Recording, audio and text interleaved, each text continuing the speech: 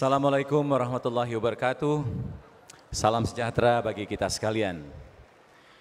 Bapak Ibu sekalian, para pemirsa di rumah, untuk sebuah ajang pemberian penghargaan bagi apresiasi insan karya dan industri musik untuk bisa bertahan lebih dari 10 tahun adalah sesuatu yang luar biasa.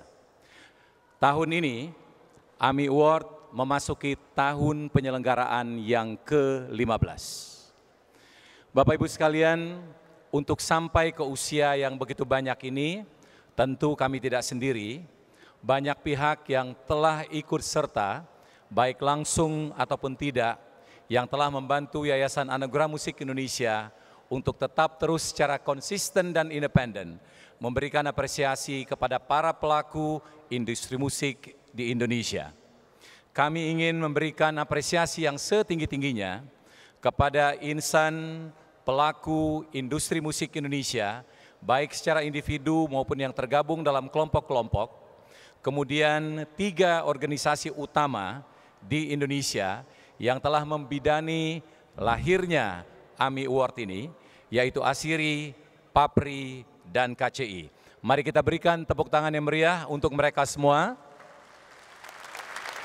Kemudian saudara-saudara sekalian, Penyelenggaraan pemberian penghargaan AMI Awards setiap tahun secara konsisten ini tidak mungkin terselenggara apabila tidak ada kerjasama yang sangat baik, sangat produktif dan saling mendukung antara Yayasan Anugerah Musik Indonesia dengan RCTI.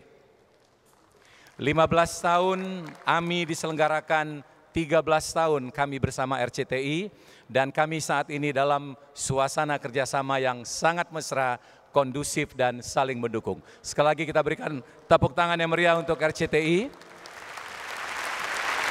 Hari ini sekalian, AMI Award ke-15 diselenggarakan dengan tema Dedikasi untuk Musik Indonesia. Oleh karena itulah, kalau Anda perhatikan dan lihat dari awal, yang muncul di panggung ini adalah pemusik, penyanyi, dan penggiat musik dari berbagai genre musik dari mulai keroncong, dangdut, rock sampai dengan pop yang tampil pun mewakili segenap usia dari pendatang baru sampai dengan mereka-mereka yang layak kita sebut sebagai legenda hidup.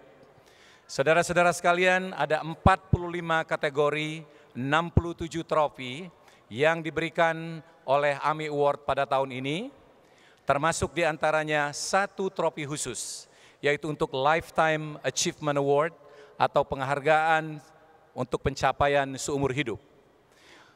Dalam AMI Award tahun ini dengan segala perasaan bangga, kami telah memilih seseorang yang telah meniti karir sangat susah dan bertahan di hasana musik pop Indonesia selama empat dekade. Mulai dari era tahun 70-an, 80, 90, dan sekarang era 2000. Di setiap dekade, dia berhasil menciptakan warna untuk memperkaya musik pop Indonesia. Dia berhasil menciptakan bintang-bintang baru. 40 tahun kurang lebih berkarya, masih tetap inspiratif hingga saat ini. Oleh karena itu layaklah apabila AMI Award menganugerahkan pencapaian seumur hidup kepada seorang tokoh musik Indonesia yang tetap konsisten di bidangnya, tetap kreatif, tetap inspiratif. Hadirin sekalian, penghargaan Lifetime Achievement Award AMI Award ke-15 diberikan dengan bangga kepada senior kita, musisi kebanggaan kita, pahlawan musik Indonesia, Yoki Suryo Prayogo.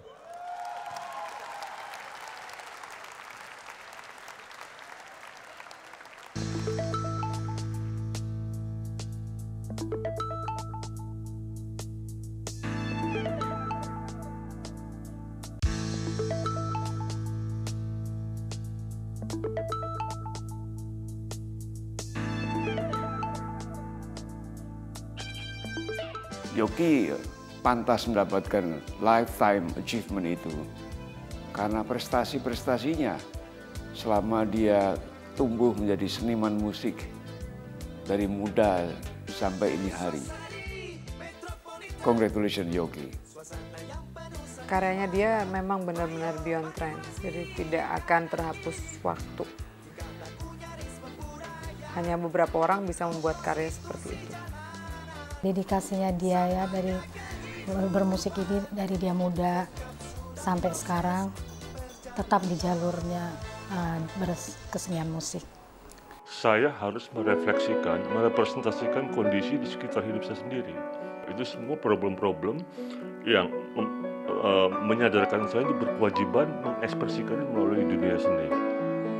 Hingga akhirnya yang saya bisa lakukan adalah bagaimana saya menerjemahkan persoalan-persoalan itu, aplikasi-aplikasi itu lebih lebih diterima secara gamblang, secara awam, menjadi bahasa yang indah. Malam ini kami dari hati yang terdalam benar-benar ingin memberikan sesuatu yang luar biasa atas kreativitas anak bangsa untuk musik Indonesia yaitu abang saya Mas Yogi Suryo Prayogo.